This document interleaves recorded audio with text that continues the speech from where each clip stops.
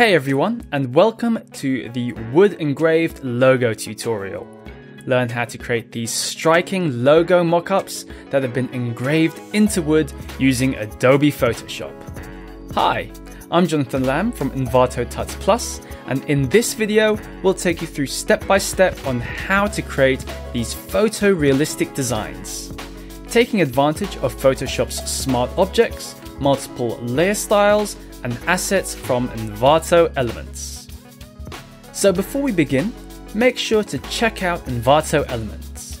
With one subscription, you'll have unlimited access to assets such as the ones we'll be showcasing in this video. Millions of creative digital assets with a simple commercial licensing. And you can cancel at any time. Subscribe now with the link in the description below. So let's start by going over what assets we'll need to complete this tutorial. First, we'll need a wooden texture. You can find a large selection at Envato Elements. Any high-res wooden texture will do. Next, we'll need a perspective image. You can find a link to this one in the description below. And then we'll need to use a logo for our mockup. You can use your own logo design or if you want to follow along, we'll be using this badge and logo pack from Envato Elements. Again, a link to this will be in the description below. Now back in Photoshop, you'll see that we've imported two of our images into Photoshop. So you can see them in the layers panel here, our wooden background image, and on top of that, the perspective image. Make sure that you've set a foreground color. So we've chosen a bright yellow here and we're going to choose the rectangle tool, click on our canvas, and let's type in 1267 and a height of 814.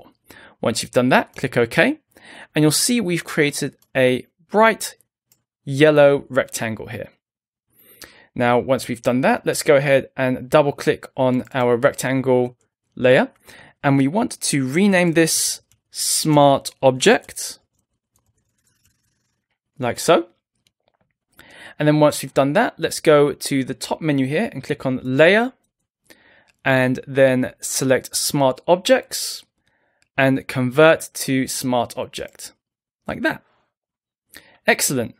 Now we want to transform this. So to do that, go to edit and then select transform and we want to distort it. So select distort here and using the mouse, let's click and drag the four corners so that they match up with our perspective image below it here. So you can see just clicking and dragging so that matches the corners of the black rectangle like that. And then once you've finished that, go ahead and click on the tick button here to apply it. Excellent. So now we don't need this perspective layer anymore, so we can either delete it or hide it like so. And then we want to go ahead and get our logo image. So you see we've imported our logo image into Photoshop here. So let's go ahead and select that, press Control C to copy it, go back to our main document, and let's go ahead and double click on this smart object here to go inside it. So once we've clicked on the OK button, this will open the content of the smart object in a new window of Photoshop. Here you can make any changes you like and once you're satisfied, all you need to do is save the file and the Photoshop smart object will be updated when you return to the main document. Now in the layers panel here, let's go ahead and deactivate the visibility of the yellow smart object. And we want to go ahead and paste in our logo like so by pressing Control and V. Now, once you've pasted in your logo, we want to resize and reposition it. So press Control T to resize this. And up here, we can go ahead and change the values of some of these. So in the X position here, let's go ahead and change this to 633.5. And for the Y value, let's go ahead and change this to 406.5, just to make sure that our position for the logo is centralized. And over here, we can go ahead and change the size of our logo by clicking and dragging our mouse button like that. So we can go ahead and make it a little bit larger if we want, just to fill out the rectangle. And then once you're happy with that, again, just go ahead and click on the tick button. Now, once you're done editing your logo inside the smart object, all you need to do is press File and Save to make sure that that's saved. Close it and then head back into your main document and you'll see that the smart object has now updated with the latest changes that we made. Awesome. Now let's go ahead and engrave the badge into the wood. Let's start by setting the fill of the smart object to 0%, like so. And then we want to duplicate this smart object at least five times by going to the top menu bar here and then going to Layer, New, and from here we want to go to Layer via Copy. So Control J on the keyboard. So let's do this another five times. So press Control J on the keyboard four more times, like so. So we've created five different copies of this layer. And then we want to select all five of these layers and group them up into a new group. And let's rename this group effects. And now let's open this group up and we want to name each of these by a number. So effect one and so on. So effect two, effect three, effect four, and finally effect five. Excellent. And now click and drag our smart object layer on top. And from now on, when we need to replace our logo in the smart object, we'll use this particular layer by double clicking on it and editing the content inside.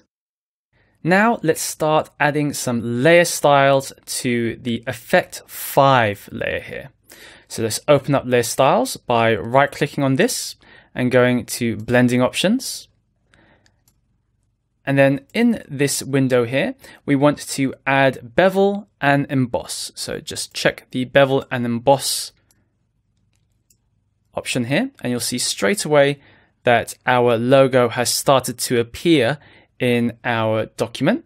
Now we want to put the technique as smooth, make sure the style is kept at inner bevel. The depth will place it at 113% with the direction put at up.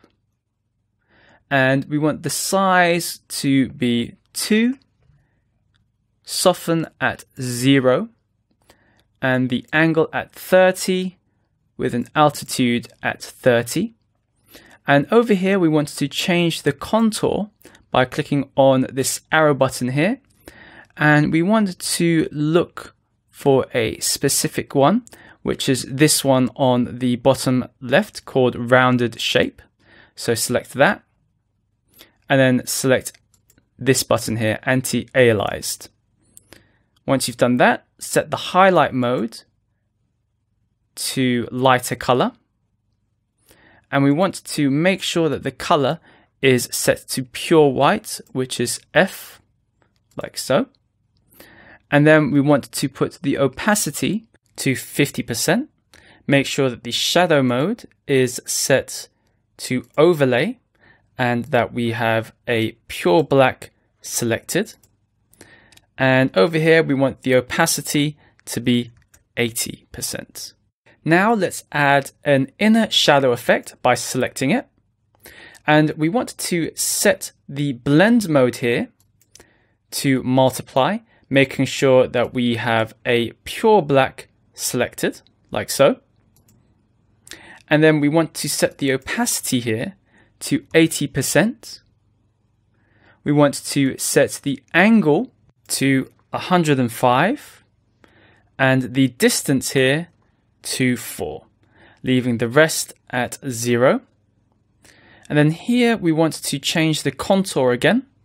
And let's go ahead and choose this one here, which is half round. And again, check the anti-aliased checkbox here. Now we want to make a new satin effect. So select satin. And then from here, we want to set the blend mode to soft light, which is down over here. And we want to change the color to a different color, which is 3B2B25. Click OK when you've done that. And then we want to set the opacity to 100 and then the angle to 120. We want to set the distance to 1 and the size to 0. Now over here we want to change the contour again and again we want to choose this one here which is half round and this time let's uncheck anti-aliased and select invert. Awesome. Now let's add a new drop shadow effect, which is down here. So click on that. And then we want to set the color of our drop shadow to pure white like that.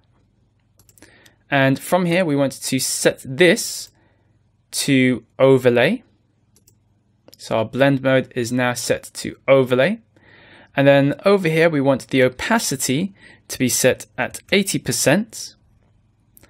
And we want the angle to be set at 105.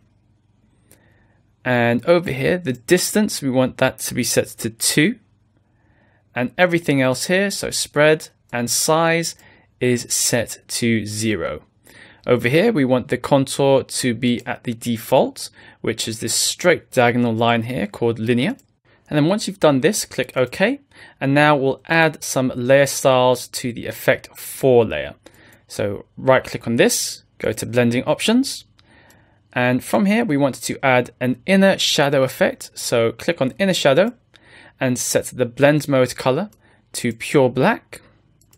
And now we want to set the blend mode to multiply, set the opacity to 80, and set the angle to 105. And this time we want to set the distance to 6 pixels. Now we want to set the contour to linear, like so. And then from here, we want to add a new pattern overlay. So click on pattern overlay. And from here, we want to set the options to overlay as our blend mode. Set the opacity to 44. And we want to choose a pattern to texturize our wooden logo. So let's click on the pattern box here. And let's select one of these patterns here, like that. And then we want to scale this down. Just play about with this scale until you find something that you like. So let's go ahead and scale this to something like 50%. And then we want to lower the opacity down as well, like so. Once you've done that, let's go ahead and add a new drop shadow effect. So go to drop shadow, and then we want to set the blend mode to screen, choose a new color here. So this color is going to be B07555. Let's change the opacity here to 33. Change the angle to 105. And we want to change the distance here to 1, like so. Everything else we can leave as default, and then press OK. Now we want to add a layer style to the effect 3 layer. So again, right click, blending options, and we want to add an inner shadow here. So select inner shadow and set the blend mode color here to 00000, which is pure black. Then we want to set the opacity to 80, the angle at 105, the distance to 8, and the size here to 1, like that. Click OK. And now let's move on to Effect 2. Let's right click on the Effect 2 layer, go to Blending Options. And here we want to go to Inner Shadow, set the blend mode color here again to pure black.